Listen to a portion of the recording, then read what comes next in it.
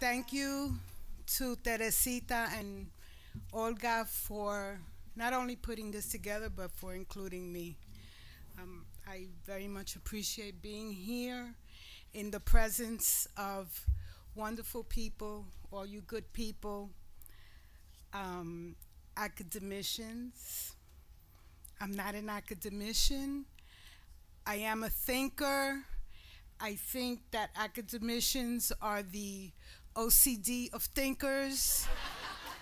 but I, I very much appreciate what you do because you force the rest of us to stretch our own thinking and to go beyond our, ourself into a, a, a place we need to go into.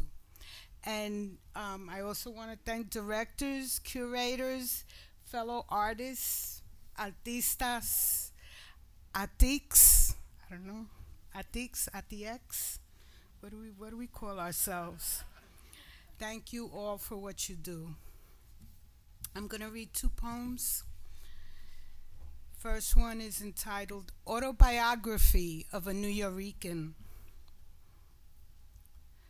Half blue, feet first.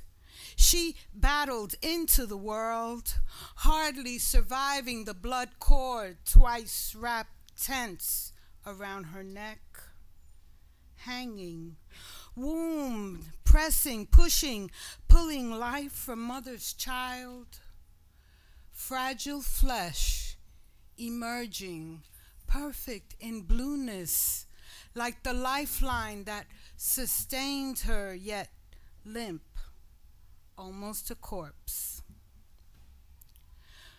Her mother claims the Virgin interceded, invoked through divine promise in prayer that caused her dark eyes to open, her tongue to taste air like fire as blueness faded, tracing death on the tail of an eclipse. And as in birth from her darkness, the free giving sun inched slow to visibility, revealing all color and form. A great teacher, generous and awesome, silent and reverent, loud and blasphemous, constant, sculpting edges of definition in the shadow and light of multiple universes. Half blue, feet first, she battled her way. The world did not want another brown, another slant eyed olive Indian black child. Did not want another rainbow empowered song added to repertoire in blue or indigo or azure or Caribbean crystal. Did not want another mouth to feed especially another rock the boat poet, another voice open wide, fixed on a global spectrum of defiance. The meaning of war defined her, gasping and innocent, barely alive, before she knew her mother.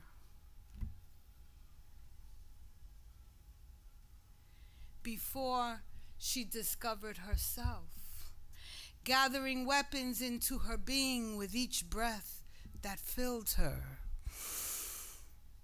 growing stronger, determined to beat all the odds.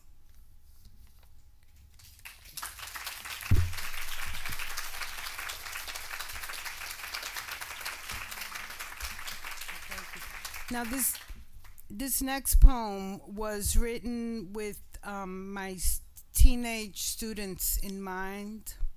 And I'm a mom. I have um, four daughters. I have five grandchildren, and I just became a great grandma.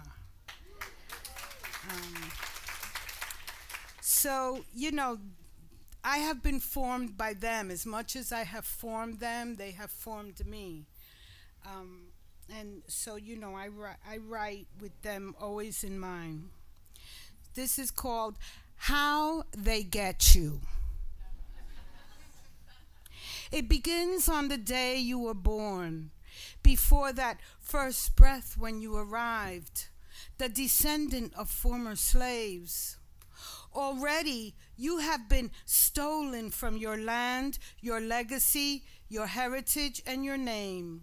Already there are things you will not be told, precious information about your past, your history. Already you will be kept in the dark.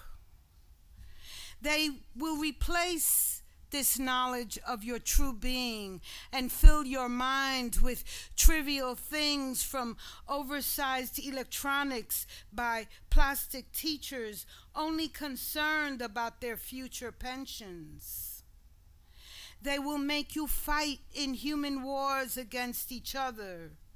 You will be forced to eat bad food and fast food that are poison to your health and your true wealth that will be agriculturally manipulated, nutritionally depleted, and manufactured in laboratories. The water you drink will be contaminated and infiltrated with strange unnatural chemicals approved for consumption by greedy entrepreneurs who want to control your sacred spirit. They will convince you to buy a thousand useless items that you don't need but must have, and then a thousand more just because.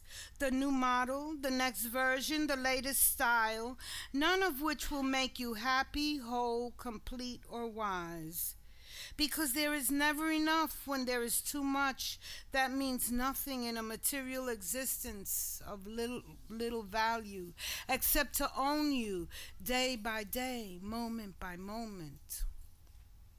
A slave to your job they will own your next check before you get it they will make you do things you never wanted and become who you didn't plan and go where no one should ever be and live in ways you never imagined until you have shut down to the song in your soul and become deaf to the dance of life living in a box like a tomb before your time.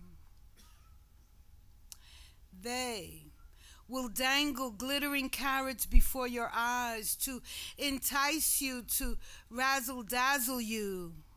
They will get you caught up in so many clever schemes they invented and invested, marketed and infested with grotesque expectations, leaving you frazzled until you won't even know you've been got. Confronted and confused, they will hold you hostage, confined in a gilded cage until you are mentally enslaved, emotionally starved, and spiritually depraved.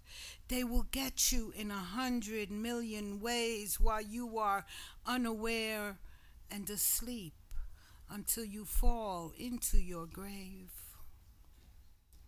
Or until the day you decide that you are not going to get got, that a slave you are not, that you were born for a purpose, who you are meant to be, and you begin to read books, to learn and see and reach from deep within that hole they buried you in and push the rising of your heart, mind, and soul onto higher ground and greater treasure.